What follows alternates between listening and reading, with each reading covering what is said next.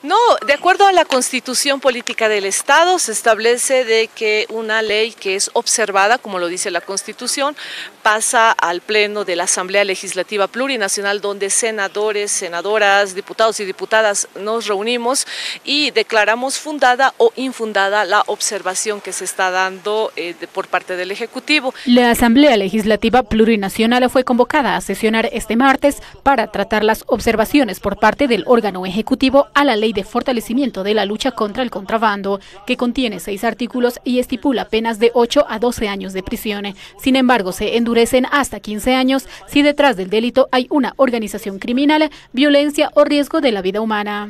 De acuerdo a la, de acuerdo a la Constitución se establece, si se declara fundada la observación, pasa nuevamente al Ejecutivo para que el presidente en el plazo perentorio pueda promulgar. Si se declarara infundada, eh, que también lo dice la Constitución, la promulgación promulga el presidente de la Asamblea Legislativa, que es el vicepresidente del Estado. El presidente Evo Morales se solicitó el pasado 12 de marzo la aprobación inmediata del proyecto de ley para el fortalecimiento de la lucha contra el contrabando. Recordar que fue redactado tras la muerte de dos militares en la comunidad cahuana Zavalla, Oruro, a manos de contrabandistas.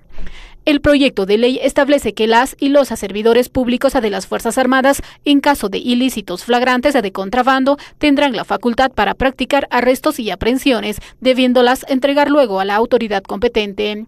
Además, estos miembros quedarán exentos de responsabilidad que, encontrándose en riesgo la vida, procedieran de oficio a la destrucción e inutilización de medios de transporte y bienes encontrados en operativos de contrabando. Además, las Fuerzas Armadas y la Policía Boliviana están facultadas al uso y equipamiento de armas de fuego, municiones, explosivos y otros materiales relacionados que sean proporcionales al riesgo de los operativos en la lucha contra el contrabando.